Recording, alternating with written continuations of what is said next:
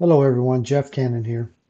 If you live north of Dallas, one of the things you know is that when you're trying to get south of Dallas on I-35, it can sometimes be quite challenging, especially during rush hour and holidays. Let me show you an alternative route that might save you some time. Okay, so this is the typical way you get from north of Dallas to south of Dallas. You're going to come down the tollway here, and then you're going to take this I-35 exit as you get closer to town. But as you can see here, a lot of times it backs up right here. So now let me show you an alternate route you can take to get through this little backed up portion right here. Okay, so now instead of taking that exit to get on 35, what you do is you pass up all that traffic at that exit and you go down straight downtown to Harry Hines Boulevard, which actually turns into Akard Street down here at the bottom. And then what you're going to do is you're going to take Woodall Rodgers and then you're going to catch this little loop here to get back on 35. So now let's take a look at what that looks like when you're actually driving it in a vehicle. Okay, so I'm getting on the tollway here off of Lemmon Street and I'm heading towards downtown. So now I'm on a tollway. I'm going to speed this up just a little bit. As I get closer to downtown, here's the Wycliff uh, Avenue exit. And we're coming up on the, it says exit 1 mile 35 east south. So we're going to continue downtown.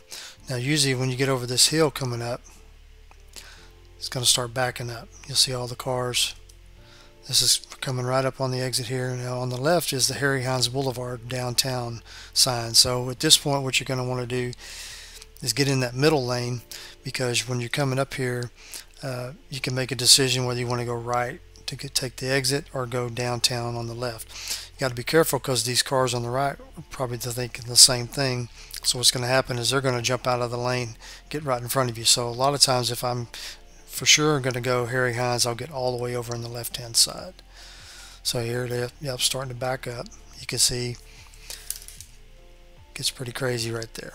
So sometimes you this shortcut is good, sometimes it's not. Sometimes it's there's just no good way to get out of town, but this is a typical one when I see this one backing up pretty bad. So I'm going to go downtown, switching lanes here, going to the middle lane, and then I'm going to get over to the right hand side because I'm going to need to be in that right hand lane when I get a little further downtown. So continuing on here, speed this up just a little bit going downtown. Here's Payne Street, Moody. Now a lot of times this right hand lane has got uh, cars parked in it so you got to be careful not to get in that far right hand lane for all these delivery trucks here. So I'm going to continue on downtown. Here's Ashland Street.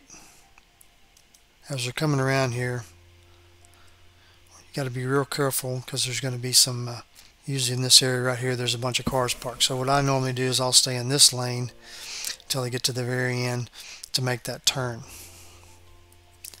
So we're going to continue on here. Now here we are at Woodall Rodgers. Now this is important right here. If you're in a larger vehicle an RV or, or a motor coach or a bus one of the things you got to be careful of is there's going to be this pole right here and when you make that turn, you can see that pole's been hit like a thousand times. And there's a reason for that because it's a very sharp turn. So if you're in a larger vehicle, what you want to do is be in this lane or kind of straddle these two lanes right here. And you want to make that turn nice and wide. So here we are, going to let the traffic go through here, going to make that turn. Now sometimes you get up here and this is just a mess it's all crowded up just like as if you'd have taken the exit earlier. So sometimes you win, sometimes you don't.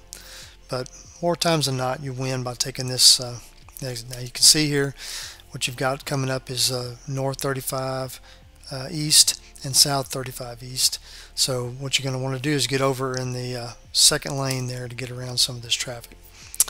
So I'm pulling up here. Eventually somebody will let you in but you want to get uh, it's pretty competitive right here you're not going to get a whole lot of help right here but uh, so once you get up here what you want to try to do is, is get in that third lane because these people are trying to get off and you're trying to get around them. So we're going to try to get in that third lane over here to go around some of this traffic. Speed this up just a little bit. So here we go. So you can see that exit for Waco's right there. And it's coming up. So when you get around this curve, you want to get back in that, that far right lane to take this little roundy round here. Lots of competition people trying to get in here. So now we're going to continue around here. Now coming up here, we're going to have a uh, point where we need to be sure and read the signs here. We've got a lot of people still trying to get in here. As you can see right here, it has a sign that's coming up south 35 to the left. Okay, so we're going to stay to the left.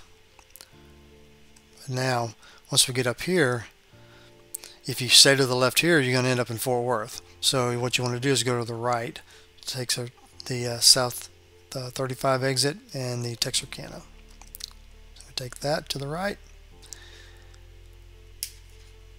And then this always gets real busy right here. There's a little bit of a merging there off of 30. You're going to have uh, to the right, you're going to stay to the right. You're going to have some traffic coming in on you here. So you want to stay to the right. A little bit of a sharp curve here. 35 south. And now what you're meeting up with is that traffic, which you would have been in if you'd have taken the uh, tollway exit there. This is where you're meeting that traffic up. So sometimes this will help out.